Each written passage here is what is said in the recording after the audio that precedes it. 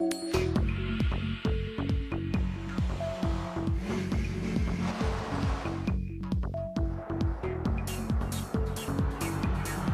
sleek, they're cutting edge, they're top secret, and they're worth millions of dollars each.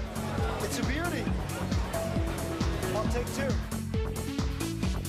They're concept cars. And before you can hop into your SUV or travel in your sports coupe across country, your vehicle starts here as an over-the-top prototype that can make even the most difficult to please consumer drool. That car is hot, very hot. Auto manufacturers spend fortunes to grab your attention and hold it. And with everything from the powerhouses of the future to the zero emissions vehicles of the next generation and some of the wildest things to ever roll on four wheels, you're going to travel to places you never thought possible as we take you behind the scenes and behind the wheel of the world's most extraordinary concept cars.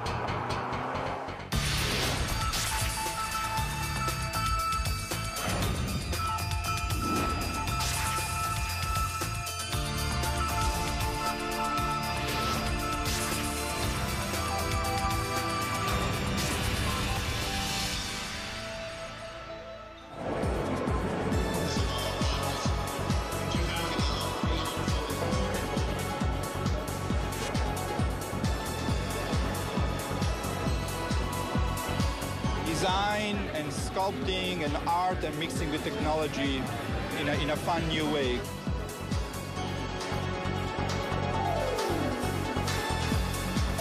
I come to see what's, what's happening in the future. Every year, auto manufacturers unveil the latest models of sports cars, sport utility vehicles, hybrids, trucks, even motorcycles. Right here. They're all over the world. Japan uses car shows for the same reason, and so do the Germans and the Swedish and the English and the Italians. It's a great way of finding out what the public likes. It's beautiful. We'll see. I don't know. I may have to work a second job, but we'll see. Second, third, who cares? And if you travel to an auto show, you'll see it's like a debutante's ball for some of the newest designs and most advanced automotive technology. They're also where car designers reveal to the world incredible ideas for the future. When we roll out a, a new concept, it's, it's very much like opening night for a movie. We expose them at various auto shows around the world where we have our toughest critics, uh, the journalists, the buying publics, and our fellow designers. Where else can you take a peek at concept dream machines like the super chic Mercury Messenger or the Chevrolet SS Concept that looks like a modern day hot rod? You might be asking yourself, where can you buy one of these tricked out fantasy cars? The answer? Nowhere. No. But why would an auto manufacturer spend tens of millions of dollars to build something they'll never sell? Why do we build uh, concepts? Well, that's a good question. One, because they're fun. And we need to test ideas, you know, to ourselves, the engineering value, you know, can we come up with something new and make it better? But we also need to test the ideas to the public. They're trying to find out what the public, the people that are buying their cars and trucks, think about the concept. Does it make sense? Do we really think the public is going to embrace this new concept?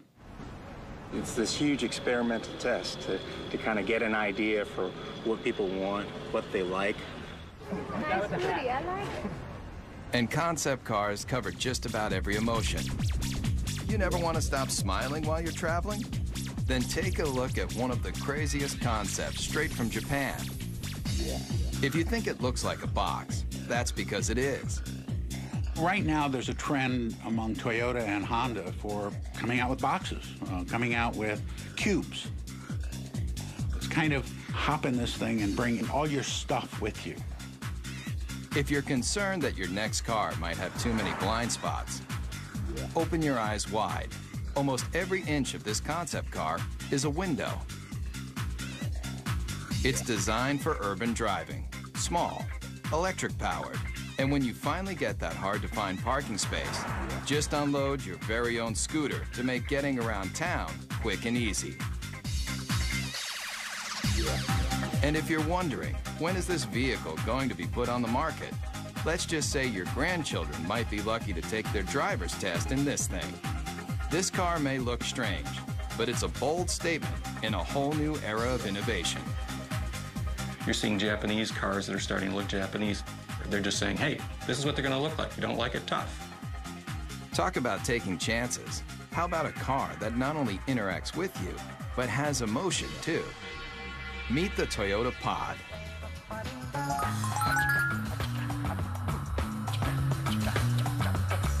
You steer it with a joystick, just like a video game.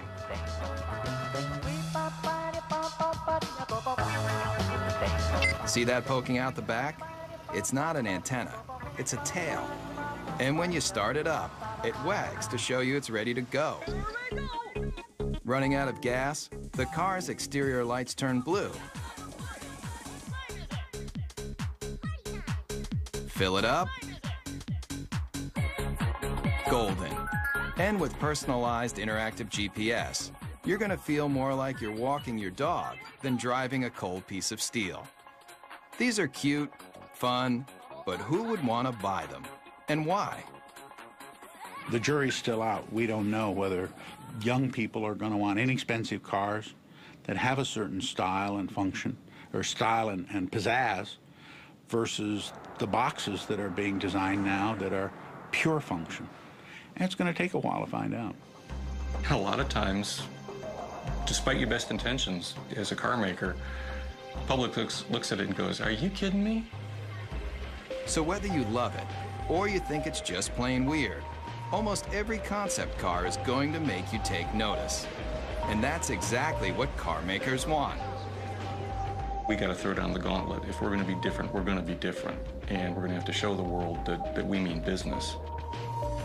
And that risk taking is ultimately about making an auto manufacturer recognizable and successful. So if Japanese car makers have mastered the art of designing concepts that are all about total fun, then take a look at one automaker that wrote the book on total performance. Everybody's heard of them. Mercedes-Benz. Founded in 1924, this legendary German car maker has always strived for high-end luxury and cutting-edge performance that keeps the driver in mind, especially in this car. You want something no one else can drive? Something just for you? Then hop into the strange-looking moonshot, the F300 Life Rocket. It may look like one of the most insensible cars you've ever seen, but what it's done for the technology of driving is invaluable. You're not seeing things. The suspension is turning into corners just like a skier on a slalom run.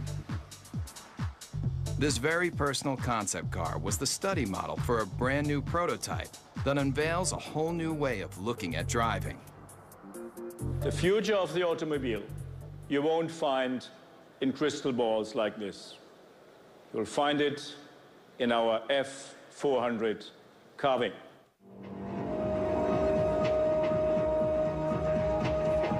It's a head turner for sure. Check out how these doors open. Get in and take it for a spin. You'll feel like you're in a James Bond movie with open wheel wells and sports car styling that harkens back to another era. But where the rubber meets the road, this car is all about the future. In this animation, you can see that when the vehicle hits a corner, one side of the suspension folds into the curve, while the other stays perfectly aligned. It replicates a skier carving into a snowy hillside to take unbelievably sharp turns. The result of this technology? Let's just say if the car were an Olympic skier, it would be getting a gold medal for performance. There's no doubt concept car designers are making handling and horsepower a top priority. And Daimler Chrysler, the parent company of Mercedes-Benz, has shown the world it can cover the gamut of what drivers want in a vehicle, especially American drivers. Maybe you've thought about it. Lying on a beach, catching the ultimate wave, Well, travel here to Miami, Florida, to the trend inventing South Beach, where models and beach bums meet to live the perfect lifestyle. But when you're cruising Ocean Drive on your way to soak up the sun, you just might be able to do it in this. I like the wood panel because I like it woody. It might look like the old school wood cover station wagons that surfers made famous, but the Dodge Kahuna is all about present day partying. It's about people who want to get out, enjoy life, enjoy nature, and they don't want any boundaries between them and the rest of the world. If you thought all car designers were just nerds with pocket protectors and a knack for numbers, you haven't met Jordan Meadows. He's one of a whole new breed of designers that's obsessed with making cars functional and fun. Sitting on three and a half million dollars of a corporation's money right here, and uh, there's nothing like it. Three and a half million dollars. But the designers needed that kind of cash flow to give consumers a look at the wave of the future. It has a feel that is very California. And I think we're starting to see a little bit of that creeping back in with, with California leading design for the U.S. and bringing that back into the mainstream. All the glass drops. You know, when you're in a minivan today, you're in this little cage. Here, there's no pillars. Check that out. Remember the cars in the 50s? Those old Woodies that everybody loved so much? Great materials. Here it's lace wood, aluminum, and it's real too. You know, that's classic American craftsmanship. It's not just cool on the outside, but we got some great functionality on the inside too. All of these seats drop down. They form a wave, which kind of keeps your luggage where it needs to be. Bungee cord holders, cup holders. One look at the Kahuna, and you're gonna realize that concept cars are all about taking what you thought you knew about the driving experience and turning it on its ear. What do you guys think? You like it? Yeah? But why not present this car at an auto show, just like everyone else? Problem with auto shows is you have a very isolated kind of environment where the car is static, it doesn't move, and people can't even touch it or experience it. Step right up to it. Yeah. And when people touch a real vehicle in the real world, they've got a real opinion. When people come up and, and talk uh, about the car, I mean, that's really what it's all about. Uh, Concept cars are experimental. It should be a four-wheel drive because you can take this right onto the beach and then uh, dump your boards and go riding. Yeah, this is all great to hear. I mean, Yeah. get good ideas. Yeah. The Kahuna designers definitely want to hear what you've got to say. But if you see the Kahuna on your street, remember, No? No. No, don't do that. this car is worth three and a half million dollars. Coming up, feel the intense torque with some of the most powerful prototypes you've ever seen. Also, ever want... Concept cars are designed to let you take a peek into the future. But the automotive industry's ambition to show you what might be has a radical history too. Beginning with famed auto designer Harley Earl's Buick Y-Job, concept cars have always tried to show consumers the excitement in the possibilities of technology and design. The use of concept cars as a tool to demonstrate the future has resulted in hyperspeed advancements in style and technology. But concept cars are really about the bottom line, making you want to buy something even better than what you have in your garage right now. And today's concepts have more elegance, more style, and more muscle than you've ever dreamed. And auto designers are the brains behind the brawn. Today, a new generation of concept designers, like the ones at Daimler Chrysler, are leading the charge in making hot rods mainstream. Especially with this bulked up concept. It's called the Airflite, and it looks like it's straight out of a kid's comic book. Why? I'd say the average age in the design office is probably about 33. It's pretty young for a design office, which is cool. It's a modern version of Art Deco if you if you want Neo Deco. It's got the very streamlined, tight design The use of speed lines on the hood, which is very much a deco design theme. It uses the cool metals to, to give a, an ambiance to the interior. It's, it's very simple yet like futuristic, like, a, like everything about it. But no matter how cutting edge this car is, with its long front end, snubbed back end, and rear wheel drive, the Airflite is still old school muscle car. Listen to that muffler for even one second, and you'll realize that this beefy machine is just one of a new breed of vehicle that is throwing out what you thought you knew about how a car should look and feel. The Dodge Razor, the Super 8 Hemi, the Chevy SS, the Chrysler Crossfire, all muscle, all the time. But what if your vehicle had so much power that it wasn't an engine on wheels, it was an engine with wheels? I think, quite honestly, when it comes to crazy concepts, the Chrysler Tomahawk has got to be one of the, the craziest that have been around for a while. 500 horsepower and two wheels in front. The people that built it for Chrysler and Dodge did a magnificent job if you look at the workmanship and the detail in the, the vehicle itself. If it looks like it's just one big motor, that's because it is. But you won't find this engine in even the most high-powered Harley. How many cylinders do you think this double-wheeled mean machine has? Four? Six? Eight? It has 10 cylinders. It's an 8-liter. It's the latest version of our Viper engine.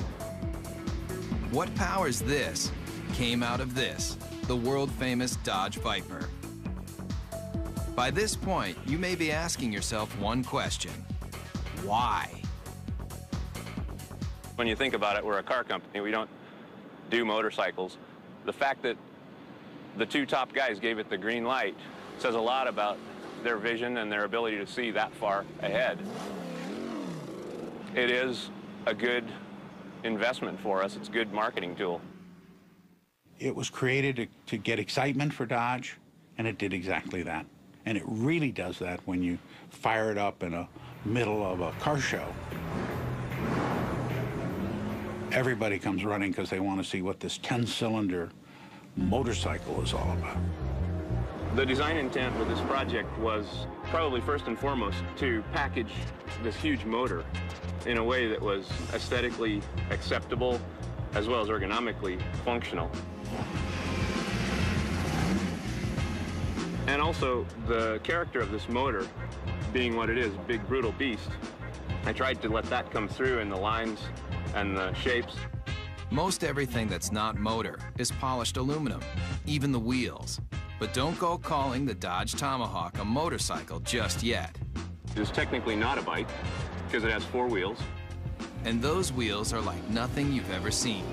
Watch closely how each one leans independently into a curve.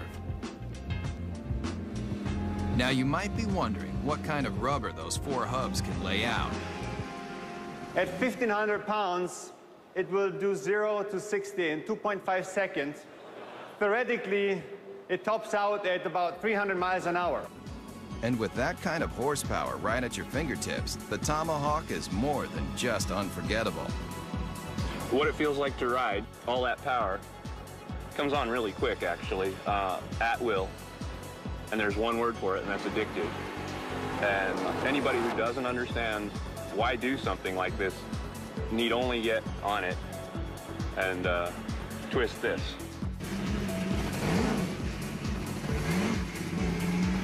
Whether it's power, performance, or sheer innovation, concepts push the boundaries of imagination. And if you come here, to the hills of Pasadena, California, you'll find a place where it all begins, at the Art Center College of Design, a world-famous art school with an intensive design program. Designers start here when they're passionate about innovative automobiles. I think I've seen some people cry. I think I cried once. If you want to do automotive design, this is the most hardcore program that you can involve yourself in. Generally, I'm here all the time. I don't really have life anymore. And in this serious design studio, students build prototype models just like the professionals. And their final projects end here. with scale-sized concept cars presented to the entire industry. The translation between the paper and the actual 3D model is, it's kind of inspirational, I guess you would say. But there's a lot to do between paper and glossy models like these.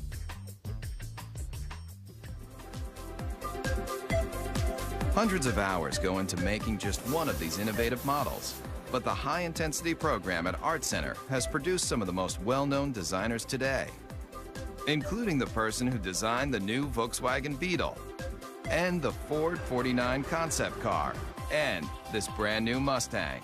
I think there's no doubt that he's considered one of the finest designers in the world, along with another dozen.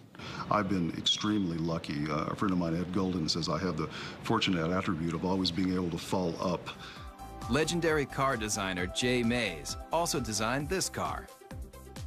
500 horsepower, 500 foot-pounds of torque, wrapped in a, a classic body shell that's arguably one of the most beautiful mid-engine cars of all time. They displayed a show car, which was the Ford GT40. Once again, the public went crazy. They yelled in unison in Chicago and in Detroit and you name where, build it. The people around the vehicle just kept telling us to build the car. And they did. If you thought creating a scale model of a concept car was difficult, watch the time lapse for the clay model of the GT40. Forget your everyday enamel paint. That polymer skin can be rubbed on, then adjusted to smooth out any imperfections.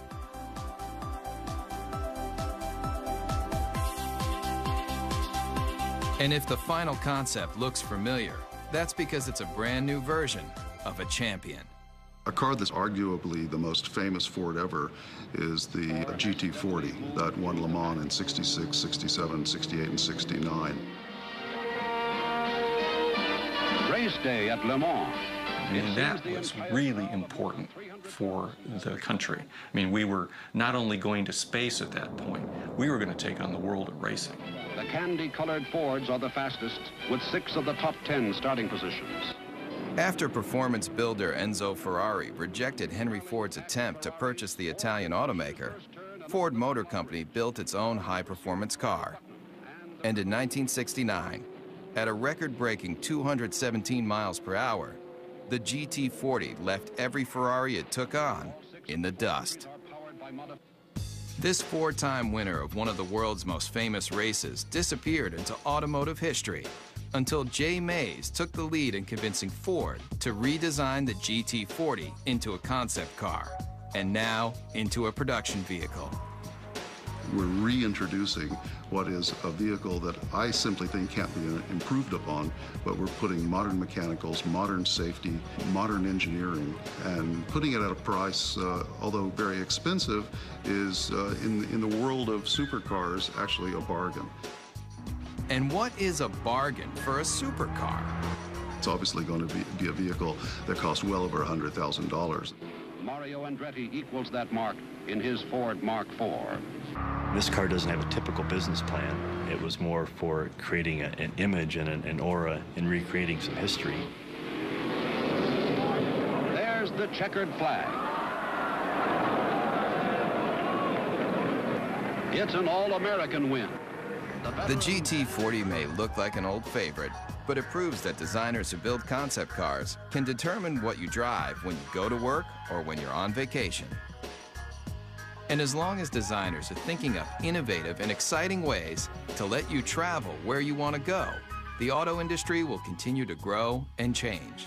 There aren't that many great automotive designers in the world. Uh, there's, a, there's a handful, but uh, those handful of designers usually have a team of very hungry young designers under them that are continuing to drive them forward and make them look for new solutions that are going to please customers. So kids coming out of school today have got to, to be obsessed with what I always call cutting the old man's knees off. I want to create things that have a strong emotional impact on people in a positive way. Whatever it is, I want to create it hardcore. I just would like to see my design out there. I'd, I'd like to see it affect somebody in some way. So that 50 years later, to somebody, it could be a classic. Concept cars are the brains. In studios around the world, car makers design, test, and build just a handful of concept vehicles every year. Like this Chevrolet SSR concept pickup truck. And here, at the GM Design Center in Warren, Michigan, state-of-the-art computer modeling allows designers to analyze and change designs in advanced environments like this, where life-size 3D computer models of concept cars can be studied even before they're built. But this secret design center isn't open for tours. In fact, they don't want you anywhere near the place. There's a tremendous effort placed on uh, confidentiality and uh, secrecy in the marketplace because it's so competitive. With billions of dollars in new car sales at stake each year, automakers are in constant battle for your loyalty. That's why the latest advancements in concept technology and design are treated with extra care. The concepts are the crown jewels of the company in, in many ways, and you don't want them to know even what you're thinking. So you keep that locked down as tight as you can. I think the, the secrecy is, is very, very important. It, it, it adds to the excitement.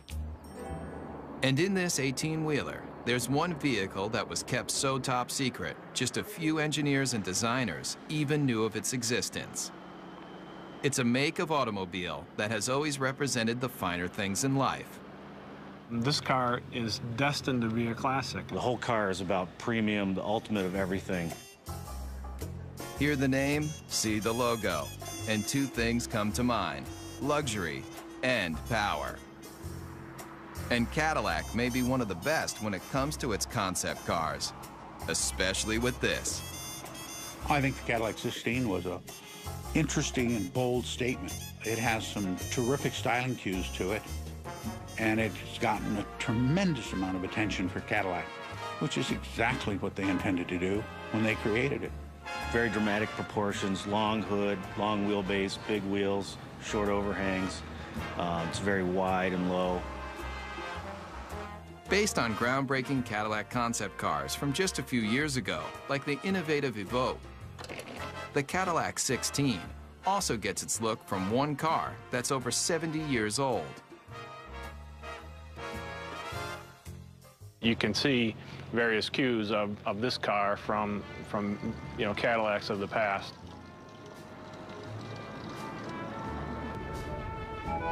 Believe it or not, this is only one of three 1931 convertible Cadillacs known to exist, and it was a major inspiration for the new version. On the outside, they may not seem alike, but take a look at this number, and take a look at this number, and take a look under this clamshell hood, and this clamshell hood, and the relationship is obvious. Many people ask, you know, why we did the, the 16-cylinder engine. Not 8, not 10, not even 12, 16 cylinders. And if the number of pistons doesn't make you take notice, then look a little closer. 1,000 horsepower makes this Cadillac engine one of the most potent power plants to ever come out of Detroit. It's a legitimate 16-cylinder engine and not a, not a copy or a cobbled-together piece.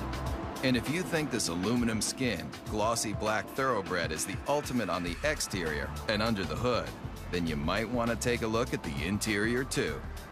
Really, you're just swathed in wonderful materials like Tuscany leather, burl walnut everywhere, and a silk carpet that you hardly want to have your shoes touch. Really uh, an exquisite place to be. And if a genuine Bulgari clock doesn't make you drool, then take a closer look at the steering wheel and you'll know you're experiencing one of the finest concept vehicles ever built. When you first sit in the car, you, you can't help but be taken by the crystal badge in the steering wheel. How much would you pay for a piece of cut crystal like this? Try $8,000. It's just another one of the details in this car that's designed to make you believe one thing. This is a car that's, you know, just monumental in scale. Concept cars are all about elegance, styling, power, and now, this. Coming up. When you think about some of the most advanced concept automobiles, you probably think about performance, power, styling. But car makers aren't just working on how to do 0 to 60 in 4 seconds flat. They're also figuring out how to do the right thing. Petrochemicals eventually, fossil fuels, are eventually going to start running out. We don't know when, but the experts agree that it's a finite amount and that eventually we will run out. Since automobiles were first invented, people have been looking for alternatives to gasoline to get them from point A to point B. But what if the byproduct of you traveling across the country wasn't toxic exhaust, but something a whole lot better? It's a zero emissions hydrogen engine. Water drips out of the tailpipe. You could drink that water, it's so clean. Fuel cells, like the ones found in the Toyota Fine S concept car, are changing the way people look at powering their vehicles. This is Honda's hydrogen refueling station. It's a futuristic concept, and it's based on generating hydrogen from a renewable source, mainly sunlight. We take sunlight from the solar panels, we generate electricity. From the electricity, we break apart water into hydrogen and oxygen. And from the hydrogen, we store it in the station, and then we use that to fuel our, our fuel cell vehicle. And it's not just sunlight that can make hydrogen. There are a variety of ways to produce this efficient fuel. The method that's used uh, prevalently today is to take uh, natural gas, which is predominantly methane, and do a, what's called a steam shift reaction, where you add high pressure water to the methane, and uh, you get a lot of hydrogen coming off. Once extracted, the hydrogen is contained in tanks. When you need to fuel, drive to a hydrogen service station and fill up just like gasoline. And why switch from gasoline to hydrogen? The big advantages with hydrogen, number one, is you get up to 25% greater efficiency from a hydrogen internal combustion engine than you do from a gasoline internal combustion engine. Uh, the emissions are reduced 99% plus. And now, Ford Motor Company has joined the revolution using this alternative power source in a brand new concept car. The Model U is really a project that we did to have a very serious look at how cars are produced, the type of engines that, that they, they will need in the future. The hydrogen-powered Model U is the latest in alternative power. But look closely at the stylized body, and you'll see something you won't find on any other vehicle. All the body panels are recyclable. But when you're done with the car, don't bother taking it down to your local plastics recycling plant. It's all soy-based materials, both in the, the fenders, the seats, corn-based uh, tires uh, with very little carbon in them. Even the rollaway canvas top looks good enough to eat. The Model U takes renewable resources in automobiles to a whole new level. The entire car becomes cradle to cradle as opposed to cradle to grave car. And so it, it, turns out to be an entire cycle of life that the car can go right back into the ground when we're finished with it. It's a very exciting concept and, and one actually that's, that's quite realistic. And it proves with new alternative power source vehicles like the Model U, concepts aren't just about creating the most opulent cars on the planet. They're also about saving the planet. The car is as clean as a field of corn because it's actually made out of a field of corn. It just goes to show you, you can have your dream car and eat it too. Coming up, the line between fantasy and reality is blurred. We'll see some of the concept cars may let you dream bigger than you've ever imagined about how you're going to travel in style. But what do the biggest auto manufacturers do when they want to drive their imaginations wild? They come here, to Zumikon, Switzerland. But if you thought this tiny European country was all about cuckoo clocks and cheese with holes in it, then you haven't traveled here, to Rinspeed, where concept builder Frank Rinderknecht has created a supercharged empire designing some of the most experimental concept cars ever built. People considered me to be crazy, to be outrageous. They forecasted a end to come soon, either being broke or going out of business or whatever. And we're in the comfortable situation now that people are really almost expecting it and looking forward for next year uh, what's to come up. Rinspeed builds custom cars for wealthy individuals, but they also partner with manufacturers to experiment with new features and new concepts. And here may be one of the strangest you've driven. Ever come across that hard to find parking spot only to discover that it's just a little too small for your car? Rinspeed has a solution. It's no illusion. That car is getting smaller. It's called the Presto. And it's one of a stable of Rinspeed concept cars that push the limits of auto innovation. A prototype should open a door to a vision, should open a door to what the future could bring, maybe in a different way, but made us think. Like this. It may appear to be a high-speed sports car, but push a button and this vehicle becomes something else altogether. The Bedouin, a retractable roof to transform a station wagon basically into a pickup truck. And the interior is as unusual as the outside. It's got a cowboy theme, a rawhide interior. Even the western-looking seats spell out Rinspeed in rhinestones. It's just one of the features that has allowed the Swiss concept maker to lead the way in designing some of the most unusual multi-use cars you've ever seen. I create the concept and then I have a very good, very efficient team of designers and technicians and the rest is teamwork. And this team just might be crazy. Where's that yellow car going? It's heading toward a body of water. No, this isn't an amphibious vehicle, but what it does do will make you want to hit the sand right now. People turn around and say, wow, what is this? Does it fly? Just hit a button and a hoist lifts out another vehicle you might not expect to see on any beach anywhere. It's not a jet ski. Get your motor blowing. It's your own personal hydrofoil. You may be asking yourself, what would drive a person to want to make concept cars like these for a living? The answer is simple. Yeah, I'm curious and I want to see what what I'm able to perform and what I'm able to do, and that keeps me going.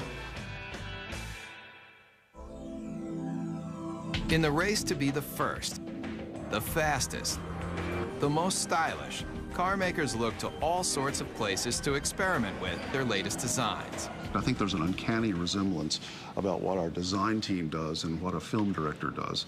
And when I talk about uh, an emotional world, uh, that's exactly what a film director is doing when they create a movie.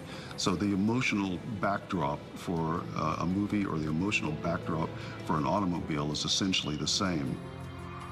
I have uh, automotive design uh, friends that uh, were in the auto industry and now work in the movie industry.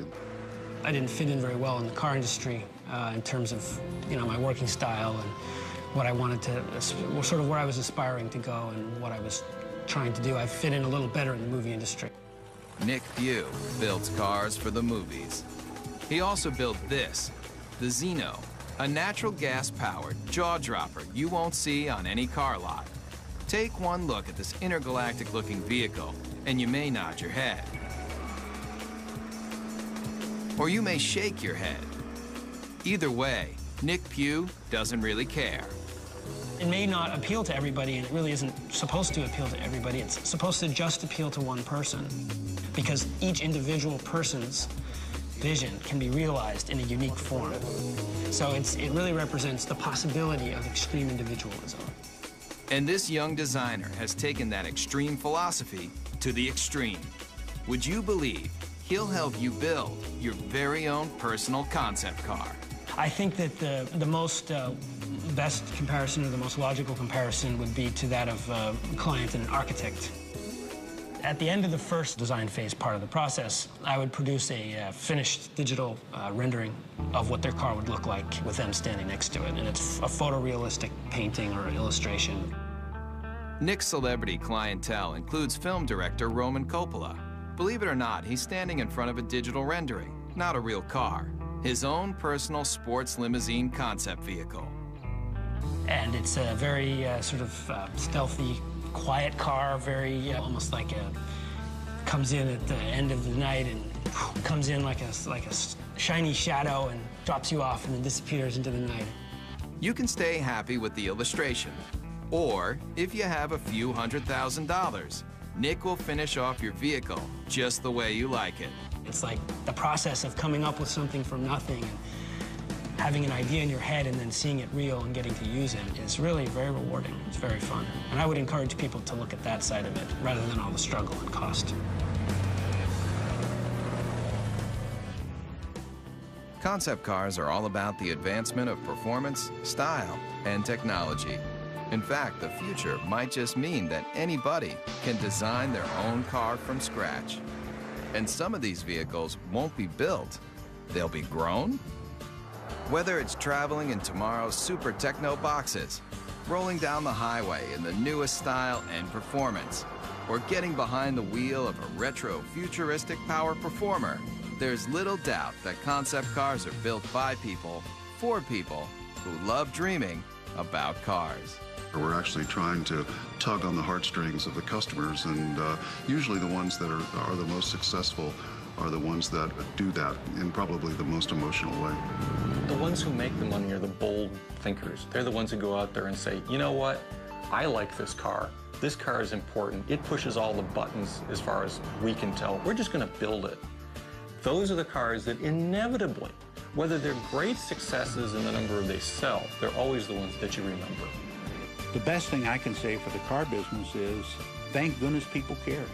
If nobody cared what the next model looked like, if the love affair was gone, it'd be pretty dull around here. Get a fourth job to get me the G35. Yeah, we'll see.